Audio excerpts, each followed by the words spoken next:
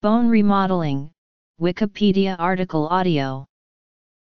Bone remodeling is a lifelong process where mature bone tissue is removed from the skeleton and new bone tissue is formed.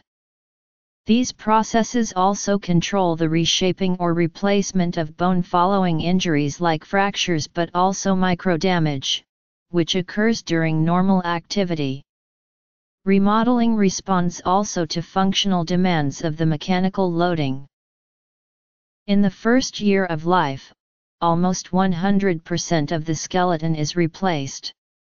In adults, remodeling proceeds at about 10% per year.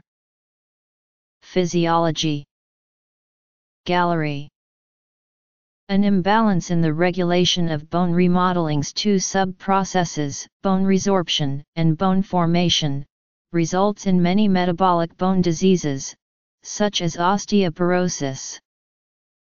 Bone homeostasis involves multiple but coordinated cellular and molecular events. Two main types of cells are responsible for bone metabolism, osteoblasts, and osteoclasts.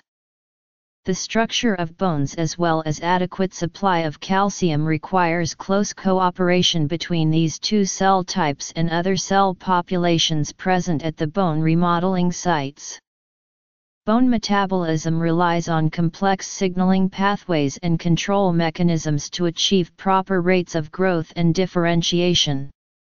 These controls include the action of several hormones, including parathyroid hormone, vitamin D, growth hormone, steroids, and calcitonin, as well as several bone marrow-derived membrane and soluble cytokines and growth factors. It is in this way that the body is able to maintain proper levels of calcium required for physiological processes. Thus bone remodeling is not just occasional repair of bone damage but rather an active, continual process that is always happening in a healthy body.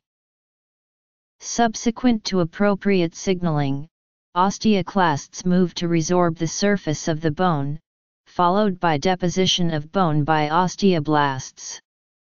Together, the cells that are responsible for bone remodeling are known as the basic multicellular unit, and the temporal duration of the BMU is referred to as the bone remodeling period. Osteoblasts actively synthesizing osteoid containing two osteocytes. Osteoclast, with bone below it, showing typical distinguishing characteristics, a large cell with multiple nuclei and a foamy cytosol.